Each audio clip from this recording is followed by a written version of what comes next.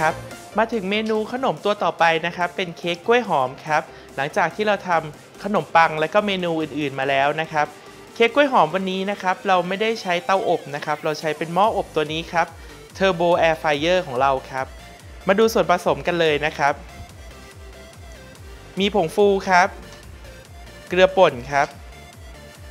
เบกกิ้งโซดาครับ น้ำตาลทรายครับ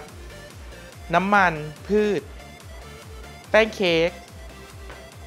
กล้วยหอมสุกงอมๆนะครับ แล้วก็ไข่ไก่ครับ กล้วยหอมที่เราใช้ในวันนี้นะครับ จะต้องเป็นกล้วยหอมที่ค่อนข้างสุกและก็ออกดำนะครับ ถึงจะทำให้เค้กของเราค่อนข้างนุ่มนะครับ เดี๋ยวมาดูวิธีการตีหรือวิธีการผสมกันเลยนะครับ ไข่ไก่ใส่ในโบไว้เลยนะครับ หลังจากนั้นใส่น้ำตาลทรายลงไป ใช้ตะกร้อมือนะครับคนผสมน้ำตาลทราย และก็ไข่ไก่นะครับ ประมาณ 5 นาทีนะครับ จนไข่ขึ้นฟู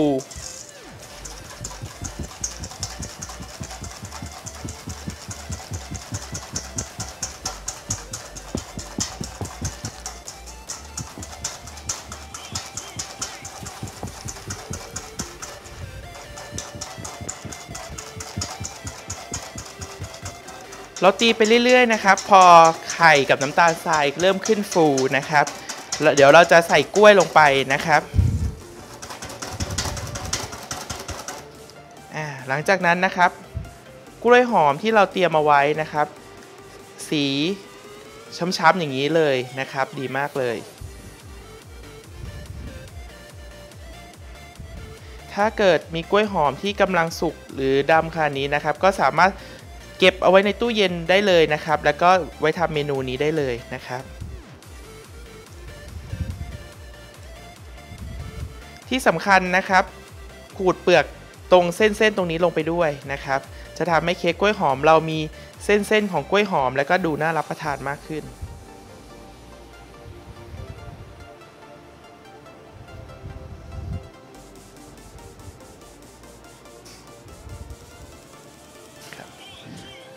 หลังจากนั้น คนกล้วยกับไข่แล้วก็น้ำตาลนะครับ ให้แตกตัวนะครับ ให้ค่อนข้างที่กล้วยที่ค่อนข้างเละนิดนึงนะครับ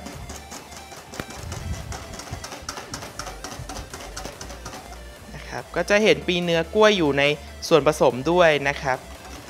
หลังจากนั้นเติมน้ำมันครับ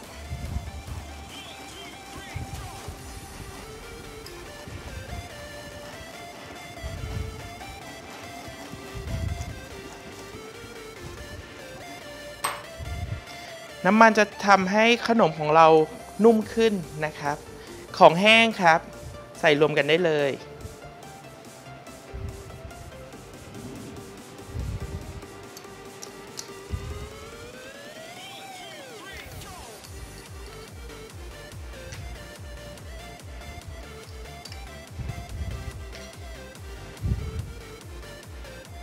ค่อยๆ ทยอยใส่แป้งลงไปนะครับ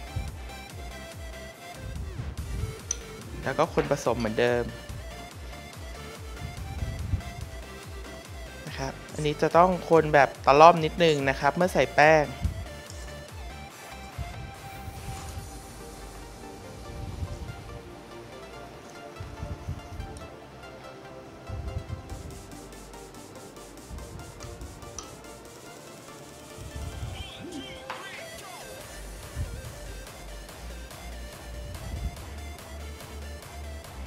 ค่อยๆคนไม่อย่างนั้นเนื้อเค้กเราจะค่อนข้างแน่นนะครับ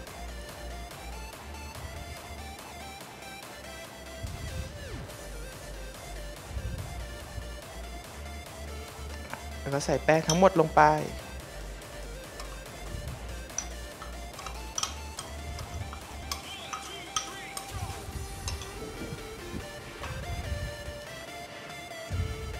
เมื่อผสมทุกอย่างรวมกันเรียบร้อยแล้วนะครับ เราจะต้องอบทันทีนะครับ เราไม่สามารถทิ้งแป้งเอาไว้แล้วก็เดี๋ยวค่อยมาอบได้นะครับ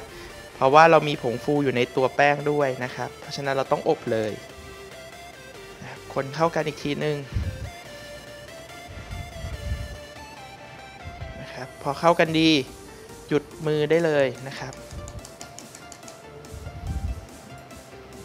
หลังจากนั้นนะครับ ตักใส่ถ้วยนะครับ ที่เราเตรียมเอาไว้นะครับ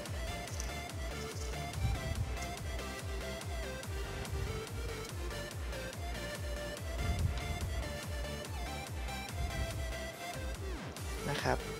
เกือบเกือบเต็มถ้วยได้เลยนะครับ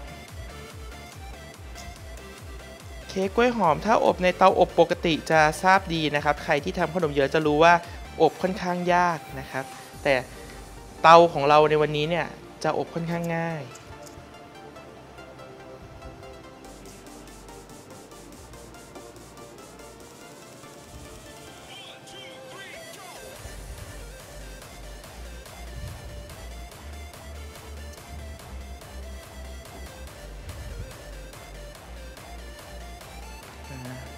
เรียบร้อยแล้วนะครับ เดี๋ยวเราก็จะใส่ลงไปใน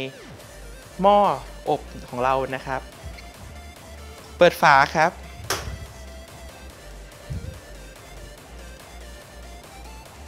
ยกนะครับทั้งตะแกรงสูงของเราเลยใส่ลงไปวางลงไปในหม้อนะครับ